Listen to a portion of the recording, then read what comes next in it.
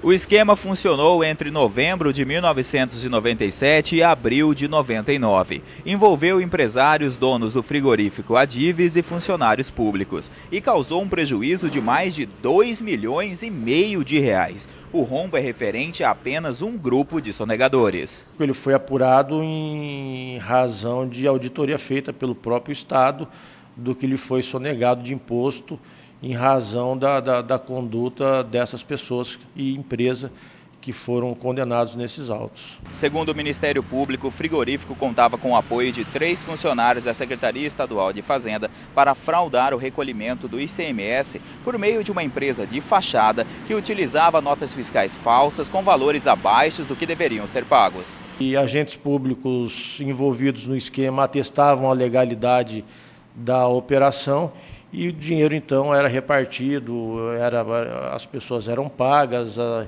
e o Estado e a sociedade, os, a população é que ficava no prejuízo com a sonegação. A brecha para a fraude foi encontrada no regime especial para o pagamento facilitado de ICMS, que é incidente sobre o transporte rodoviário. É um regime que foi feito para trazer celeridade, não é?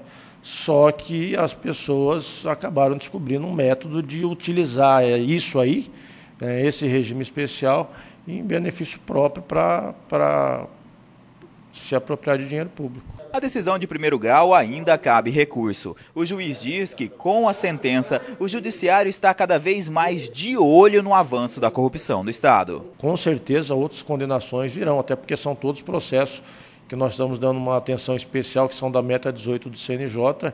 Então, todos eles com certeza vão ser sentenciados.